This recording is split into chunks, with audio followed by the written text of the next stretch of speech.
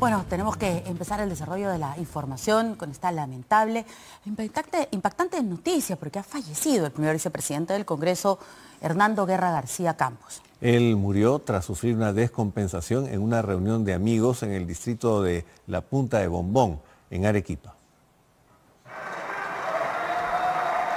El primer vicepresidente del Congreso, Hernando Guerra García Campos, falleció a los 60 años en Arequipa.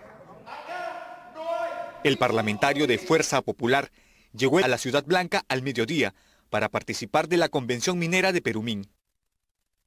El mayor de la policía, Marco Campos Urbina, jefe de seguridad del estado de Arequipa, informó que el congresista asistió a una reunión con unos amigos al distrito de la Punta de Bombón, en la provincia de Islay, donde tuvo una descompensación, por lo cual fue trasladado a una posta médica, donde confirmaron su muerte. Eh, todavía estamos en diligencias preliminares, estamos haciendo la investigación que corresponda. No hay un informe que en este momento se pueda. Según se informó, el cuerpo del legislador fue llevado inmediatamente a la ciudad de Mollendo. Hernando Guerra García Campos juró como congresista de la República con el Partido de Fuerza Popular el pasado 27 de julio del 2021 y como primer vicepresidente del Congreso el 26 de julio del 2023. Bueno, efectivamente ha habido este fallecimiento eh, repentino, no hay una causa conocida todavía. Bueno, él había sufrido una eh, descompensación en esta reunión que tenía en Islay, en Punta de Bombón, eh, y bueno, lamentablemente fue llevado al hospital, pero había fallecido. Sí, lo, llevaron primero de emergencia a Moyendo, un centro de salud ahí en Moyendo, donde lamentablemente falleció. No teníamos conocimiento eh, que el congresista haya tenido algún eh, problema de salud. Había cumplido en mayo recién los 60 años de edad. Eh, y por eso es que ha sido esto tan, tan sorpresivo, ¿no?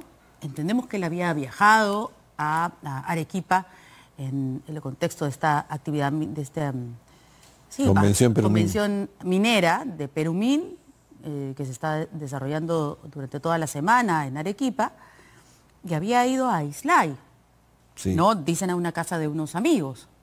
Efectivamente, bueno, ahí es donde el legislador tuvo esta descompensación y fue trasladado al, al hospital Manuel Torres Muñoz de Salud en Moyendo.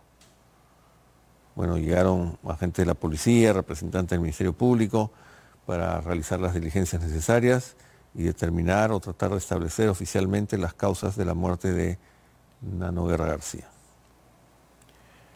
Bueno, según un documento oficial, eh, Hernando Guerra García habría sufrido esta descompensación cuando se trasladaba junto con un amigo por la vía costanera, tras lo cual o durante lo cual se desvaneció. De repente algún problema cardíaco, ¿no? Comentábamos con Federico, a veces uno no sabe eh, de qué padece no, y no, no había médico en el centro de, salud de Punta de Bombón, no había médico. Bueno, así es. Ahí fue llevado al hospital donde lamentablemente los médicos certificaron que ya había fallecido.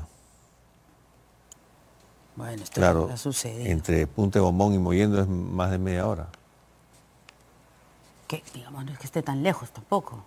Claro, pero, digamos en una situación de emergencia. Minutos son o sea, fundamentales. Tendría que, haber sido atendido inmediatamente. Ahora todavía está por establecerse la, causa. No sabemos si, si ya era algo irreversible, ¿no? Pero en todo caso, esta es la realidad de nuestro país, lamentablemente. Va al centro de salud de, de Punta de Bombón y no había médico para atenderlo. Claro. Eso pasa en, muchos centros médicos de, nuestro país. Imagínense una emergencia de este tipo. Lamentablemente, eh, en esas circunstancias ha fallecido el congresista, primer vicepresidente de la República, ha jurado como tal hace solamente unos eh, dos semanas.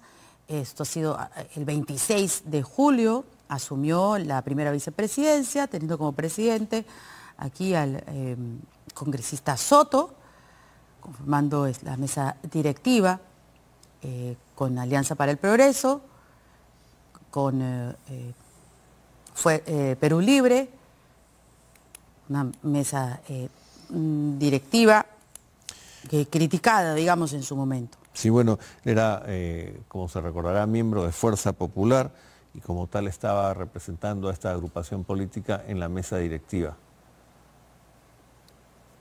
como primer vicepresidente. Bueno, hay muchos congresistas ya están eh, publicando en sus redes eh, las condolencias y lo lamentable que les resulta enterarse de esta triste noticia. O sea que fue en la carretera, aparentemente. Parece que fue camino.